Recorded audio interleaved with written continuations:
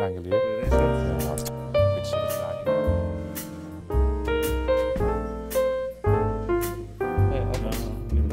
Ja, Eddie, wat voel je vlak voor de start van de Tour, 50 jaar na jouw eerste zege? Wat ik voel, eh, ik denk dat het een grote feest gaat worden en eh, ik ben daar wel fier op. Het is, het is een, een heel groot evenement. Het was de tweede keer dat de Tour in Brussel start na de Wereld Expo 58. Ja. Allemaal voor jou. Ja, allemaal voor mij eh, en ook voor al de mensen die wielerliefhebbers zijn. Wat verwachten jullie van deze Tour? De spannendste in jaren of juist niet? Want ja, alles ligt open. Alles ligt zeker open, maar ik denk dat uh, een grote favoriet is, dat is uh, Bernal.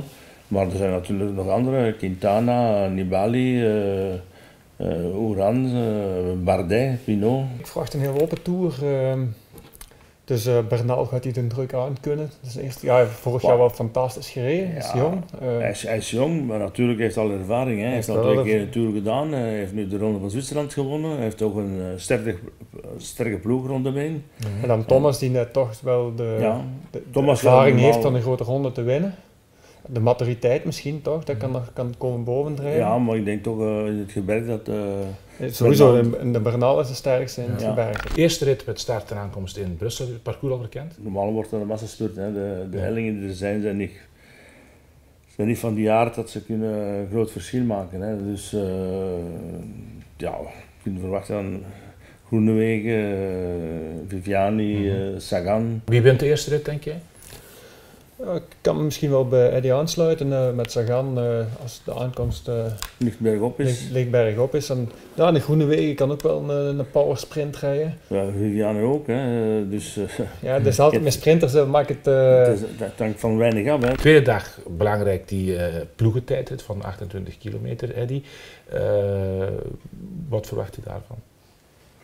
Ja, je hebt de ploegen natuurlijk, eh, zoals eh, Lotto Jumbo, eh, de Koning, eh Michelton, ja, Ineos. Mobistar.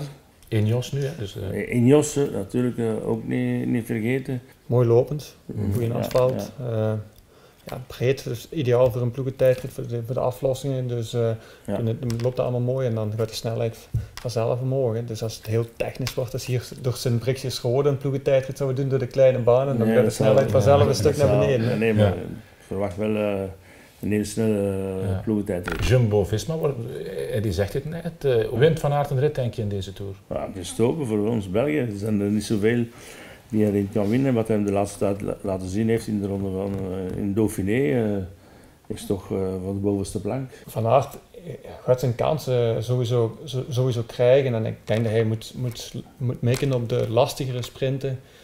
eh, Ja. Waar er toch al wat sprinters gelost zijn. Wie wint de ploegentijdrit? Ehm, Laten we dan maar eh, Jumbo-Visma zeggen. Toch, ja? Ja.